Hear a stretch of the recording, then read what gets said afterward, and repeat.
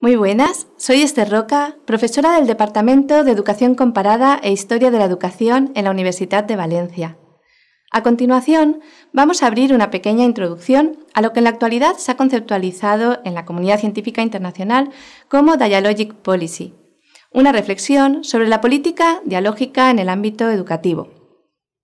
Abordemos, en primer lugar, un poquito de su relato histórico, en el año 2004, la principal conclusión de una investigación científica llamada Workaló y liderada por la Universidad de Barcelona a través del investigador Ramón Flecha, fue aprobada por unanimidad por el Parlamento Europeo. Este fue un acontecimiento transformador. ¿Por qué? Porque lejos de las relaciones que había habido hasta ese momento en el desarrollo de las políticas, pasó a situar en plano de igualdad la ciencia, la investigación, la política y la ciudadanía. Esto supuso un avance de no retorno hacia la consolidación de la perspectiva de la política dialógica. Desde entonces se están dando pasos decisivos en Europa. También en nuestro territorio, en Valencia, acoge parte de estos primeros pasos hacia la creación de una política educativa más dialógica durante el año 1995, en el proceso de creación de la Ley Valenciana de Formación de Personas Adultas. En la actualidad, Existe una demanda creciente en Europa, especialmente en el campo de las políticas públicas, para basar las decisiones en las mejores evidencias disponibles. Entre 2006 y 2007, una comunicación de la Comisión Europea ya enfatizó lo siguiente. La toma de decisiones en educación debe apuntar estratégicamente a mejoras en la educación y la capacitación, y para este propósito necesitamos investigación y evidencias. Entre otros motivos, estas demandas surgen especialmente porque desde Europa se hace un llamado hacia la equidad y a promover a través de la educación una vía para la superación de las desigualdades. En los años 90, el debate en la comunidad científica internacional ya versaba sobre la política basada en la evidencia, en la investigación científica, pero desde un enfoque mayoritariamente jerárquico. Es cierto que esta investigación científica ha contribuido a políticas mejores y más informadas en aquellos casos en que se han implementado, aunque al analizar la literatura existente al respecto a día de hoy, nos encontramos que el impacto social de estas políticas no siempre es claro.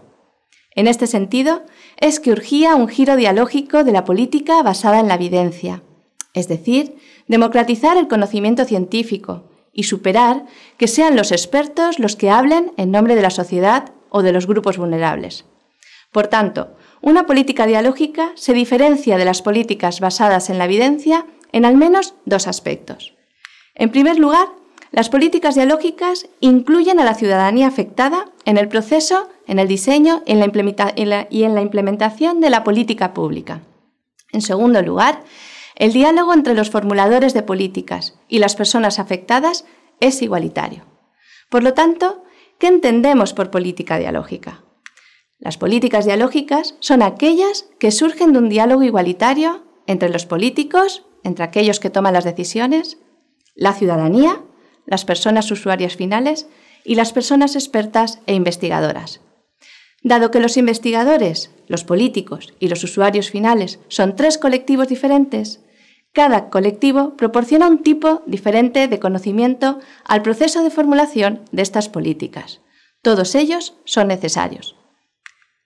Las acciones y propuestas de estas políticas deben de tener una garantía científica y social. La científica es que el conocimiento científico se considera esencial y ha de ser puesto al servicio de los responsables políticos y del resto de la ciudadanía interesada, aquellas que están afectadas en el problema educativo en esta cuestión. La social, la vivencia y experiencia diaria y directa que la población tiene con estos temas educativos son una experiencia esencial y asegura que la investigación pueda ser implementada con éxito. Por tanto, se trata de facilitar un proceso de co-creación de un conocimiento dialógico educativo que sería la base para esa formulación de las políticas educativas. Es de esta forma y en este marco como se desarrolla el proyecto educativo Included, sobre estrategias de inclusión y cohesión social en Europa desde la educación, este proyecto fue financiado por la Comisión Europea bajo el sexto programa marco entre 2006 y 2011. Es el único de las ciencias sociales y humanidades que la Comisión Europea incluyó en su lista de las 10 investigaciones científicas de más éxito. El proyecto Included identificó en 14 países europeos las acciones educativas desarrolladas por las escuelas y sus comunidades que aumentan el impacto de la educación para abordar las desigualdades sociales y fomentar la inclusión social. Este proyecto logró diferenciar claramente a través de los diferentes estudios de casos que se realizó en cada uno de los países entre aquello que conduce a la exclusión social y lo que contribuye a su superación. Una de las principales contribuciones de este proyecto fueron las llamadas actuaciones educativas de éxito, definidas como aquellas actuaciones educativas que producen los mejores resultados en términos de aprendizaje de los estudiantes, en el aprendizaje instrumental, también en los valores y en los sentimientos.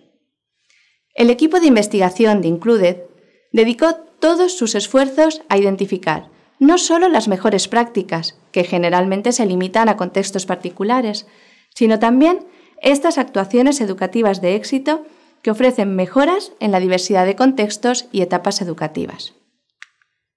Por ejemplo, entre las aportaciones científicas que realizó Included se encuentra el haber identificado tres tipos de agrupación del aula, así como sus efectos en el aprendizaje y la inclusión social.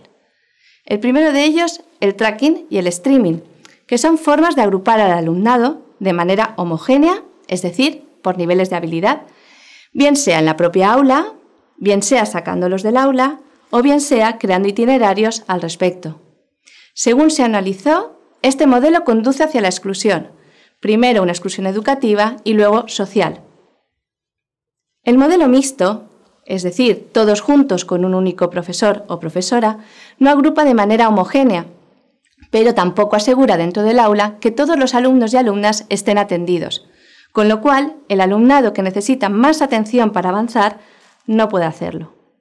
Por último, el modelo de la inclusión permite trabajar dentro del grupo de referencia y a través de la conformación de pequeños grupos heterogéneos, contando con la ayuda de personas adultas que entran en el aula, que aseguremos que ningún estudiante se quede fuera.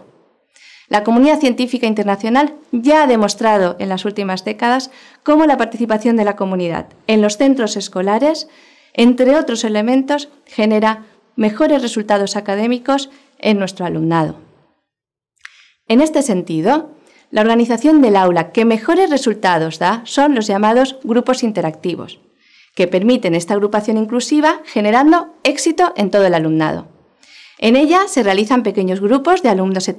Estos grupos son heterogéneos, diversos y desarrollan todos los niños y niñas conjuntamente una actividad de aprendizaje acompañados de una persona adulta de la comunidad.